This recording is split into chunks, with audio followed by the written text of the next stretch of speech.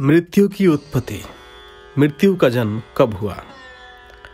सृष्टि के आदिकाल में, जब पितामह ब्रह्मा ने प्रजाओं की सृष्टि की, उस समय प्रजाओं के संहार की कोई व्यवस्था नहीं थी। इसके कारण संपूर्ण पृथ्वी मृत्यु रहित होने के कारण प्राणियों से भर गई। यह देखकर ब्रह्मा जी चिंतित हो गए। बहुत सोचने विचारने पर भी ब्रह्मा जी को प्राणियों के संहार का कोई उपाय नहीं सूझा, तब ब्रह्मा जी को अपनी विवशता पर क्रोध हो गया।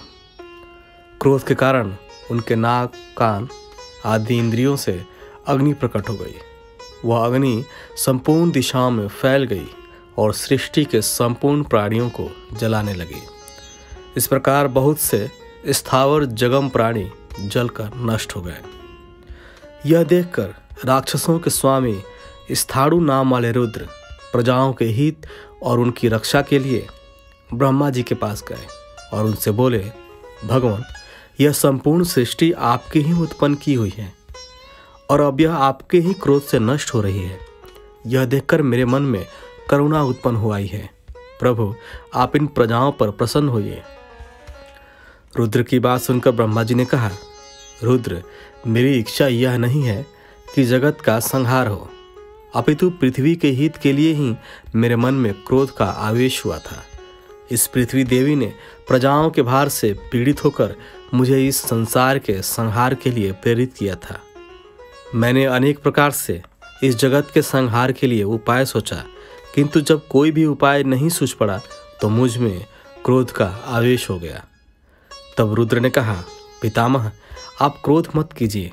आपकी कृपा से यह जगत, भूत भविष्य और वर्तमान तीनों रूपों में विभक्त हो जाए। आप प्रजा वर्ग के हित की इच्छा से ऐसा कीजिए कि इनका नाश न हो। मैं आपसे यही प्रार्थना कर रहा हूँ। रुद्र की बात सुनकर ब्रह्मा जी ने अपनी अंतरात्मा में ही उस क्रोध को धारण कर लिया। उस क्रोधाग्नि का उपसंहार करते समय पितामह ब्रह्मा की संपूर्ण इंद्रियों से निर्मित एक नारी प्रकट हुई, जो काले और लाल रंग की थी। उसकी जीभ, मुख और नेत्र पीले तथा लाल रंग के थे, एवं उसके सभी आभूषण तपे हुए स्वर्ण के बने हुए थे। वह नारी ब्रह्मा जी की इंद्रियों से निकलकर उनके दाएँ ओर खड़ी हो गई और रुद्र तथा ब्रह्मा को देख मुस्कुराने लगी।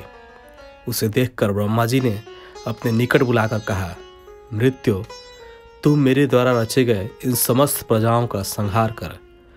तू संहार बुद्धि से मेरे दोष द्वारा प्रकट हुई है। इसलिए मूर्ख और पंडित संपूर्ण प्रजाओं का संहार मेरी आज्ञा से करते रहे। ब्रह्मा जी के इस प्रकार दारुण कर्म करने की बात सुनकर वह मृत्यु नामक नारी अत्यंत चिंतातुर होकर फूट फूट कर रोने लगी। यह देखकर ब्रह्मा जी ने उसके आंसुओं को समस्त प्राणियों के हित के लिए अपनी हथेली में ले लिया और मृत्यु को अनेक प्रकार से सांत्वना देते हुए उससे प्रसन्न करने का प्रयास करने लगे। तब मृत्यु ने अपने दुख को दबाकर हाथ जोड़कर ब्रह्मा जी से कहा, प्रजापति ब्रह्मा जी आपने मुझे नारी के रूप में क्यों उत्पन्न किया? भगवान, मैं पाप से डरती हूँ। जब मैं लोगों के प्यारे पुत्रों, मित्रों, भाइयों, माताओं, पिताओं तथा पतियों को मारने लगूँगी, उस समय इनके संबंधी मेरा अनिष्ट चिंतन करेंगे। इसलिए मैं उन सबसे बहुत डरती हूँ। भगवान, मैं चाहती हूँ कि मुझे यमराज के भवन में न जाना पड़े। मैं तपस्या करना चाहती हूँ। मैं आज ही धेनुकाश्रम चली जाती हूँ और वहाँ कठोर तप करूँगी। किंतु रोते बिलखते प्राणियों के प्राणों का अपहरण मैं नहीं कर सकूँगी। आप इस हिंसा के अधर्म से मेरी रक्षा करें। मृत्यु द्वारा संहार कर्म करने से इनकार कर दिए जाने पर ब्रह्मा जी ने कहा, मृत्यु प्रजा के संहार के लिए ही मेरे द्वारा संकल्प पूर्वक तुम्हारी सृष्टि की गई है। तो कोई अन्यथा विचार मत कर। यह बात इसी प्रकार होने वाली है। इसमें कभी कोई परिवर्तन नहीं हो सकता। तू लोक में निंदित नहीं होगी। जा, मेरी आज्ञा का पालन कर और प्रजाओं का संहार कर। ब्रह्मा जी की बात सुनकर भी मृत्यु ने संहार की कोई प्रतिज्ञा न करके वहाँ से धनुकाश्रम में चली आई। और बहुत समय तक एक पैर पर खड़ी होकर तपस्या करती रही।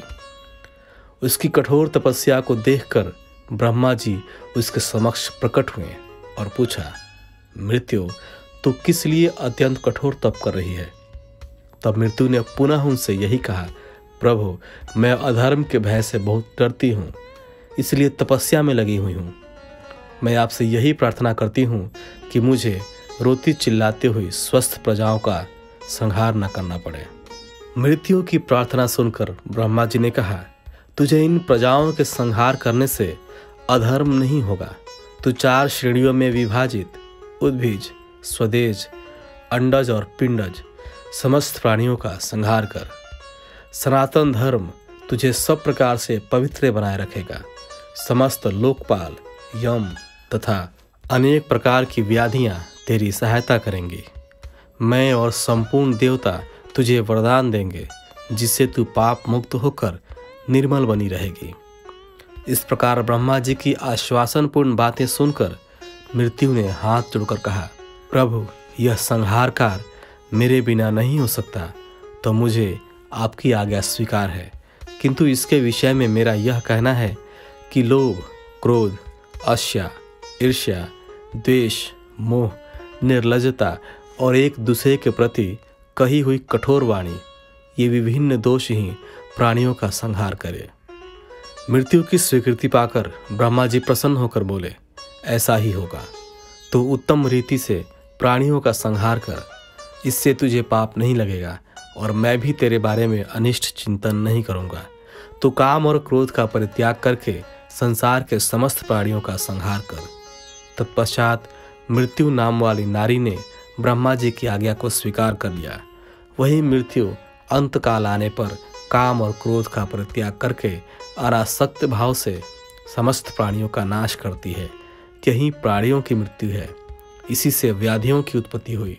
व्याधि नाम है रोग का, जिससे प्राणी रुग्ण अर्थात बीमार या रोगी होता है। आयु समाप्त होने पर सभी प्राणियों की मृत्यु उसी प्रकार होती है। ब्रह्मा जी द्वारा मृत्यु को दिए गए वरदान के अनुसार सब प्राणी स्वयं ही अपने आप को मारते हैं। मृत्यु डंडा लेकर इनका वध नहीं करती। हिंदू रिचुअल्स को सब्सक्राइब करना और बेल आइकॉन को क्लिक करना ना भूलें। धन्यवाद।